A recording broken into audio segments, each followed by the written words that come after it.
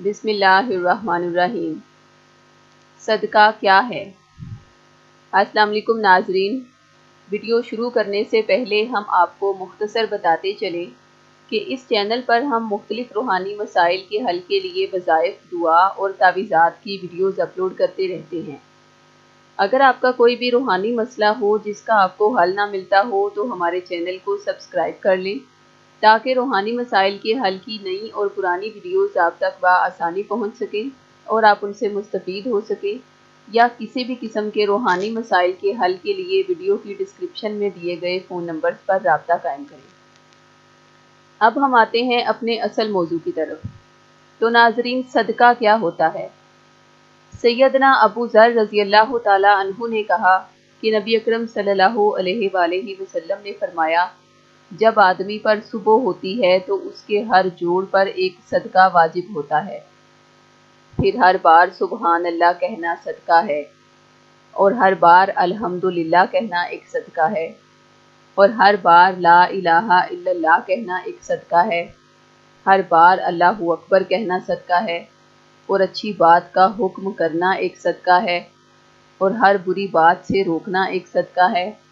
और इन सबसे काफ़ी हो जाती हैं चाश्त की दो रकतें जिसको वो पढ़ लेता है।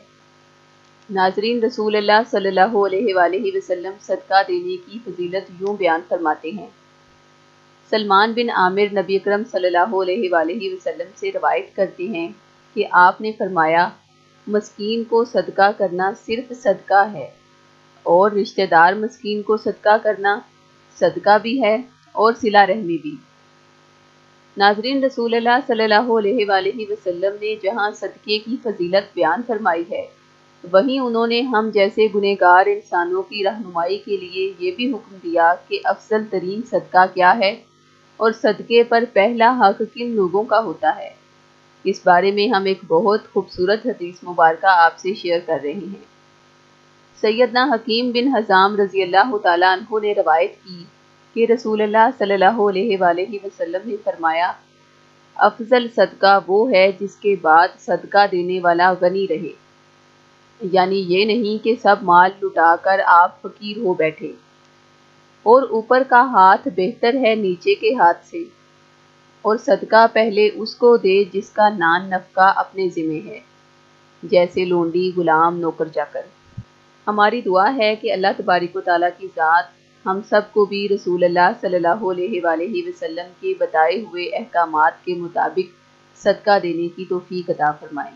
आमीन सुमामीन नाजरीन, आपको ये वीडियो कितने परसेंट पसंद आई, हमें कमेंट करके ज़रूर बताएँ और मज़ीद रूहानी मसाइल के हल के लिए विज़िट करें W W W dot dot net dot P K.